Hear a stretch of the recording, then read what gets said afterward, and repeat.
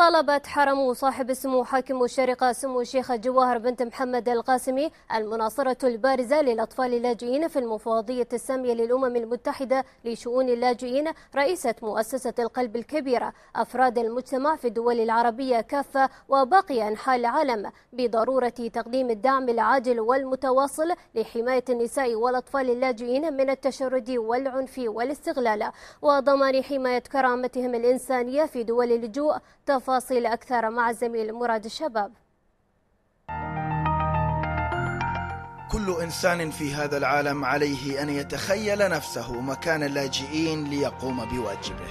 بتلك الكلمات طلبت حرم صاحب السمو حاكم الشارقة سمو الشيخة جواهر بنت محمد القاسمي المناصرة البارزة للأطفال اللاجئين في المفوضية السامية للأمم المتحدة لشؤون اللاجئين رئيسة مؤسسة القلب الكبير. طالبت أفراد المجتمع في الدول العربية كافة وباقي أنحاء العالم بضرورة تقديم الدعم العاجل والمتواصل لحماية النساء والأطفال اللاجئين من التشرد والعنف والاستغلال وضمان حماية كرامتهم الإنسانية في دول اللجوء.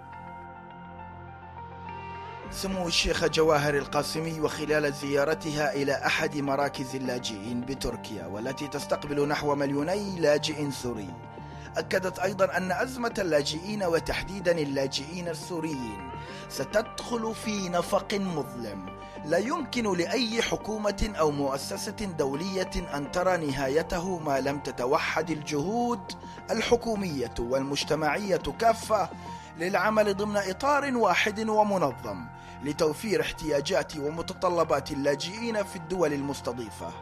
والعمل على رعاية النساء والأطفال الذين هم الأكثر تأثرا بتداعيات الأزمة.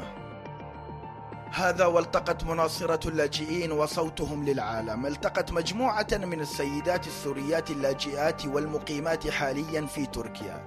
واستمعت منهن إلى أوضاعهن الحالية والمعاناة التي لحقت بهن جراء تركهن لوطنهن وبيوتهن واللجوء إلى أرض آمنة. بعيدا عن التوتر والخوف والموت.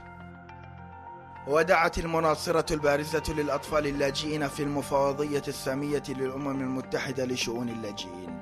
دعت أفراد المجتمع العربي والعالم أجمع إلى تحمل جزء من واجبهم الإنساني تجاه قضية اللاجئين السوريين وقالت لا يمكن لأي شخص عربي غنيا كان أم فقيرا.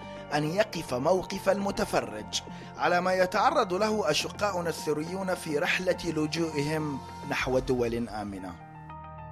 فكرة إنشاء ملاجئ خاصة للسيدات والأطفال اللاجئين كانت أيضا ملفا حملته سمو الشيخ جواهر القاسمي حيث ناقشت مع المفوضية السامية للأمم المتحدة لشؤون اللاجئين إنشاء ملاجئ خاصة للسيدات والأطفال في الدول المستضيفة للاجئين تخصص للنساء اللاجئات وأطفالهن اللواتي لا يوجد لديهن معيل لحمايتهن.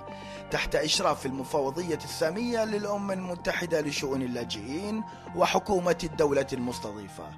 معتبرة أن نتيجة الحروب التي تشهدها المنطقة منذ أكثر من أربع سنوات ونتيجة الموت الذي بتنا نشهده يوميا في بعض الدول العربية وتحديدا في سوريا. نرى اليوم العديد من النساء والأطفال بلا زوج أو أب أو أخ وذلك يجعلهم عرضة للاستغلال والعنف من قبل ضعفاء النفوس. وبالتالي ستتفاقم معاناتهم وستمتد إلى أبعد مما هي عليه الآن.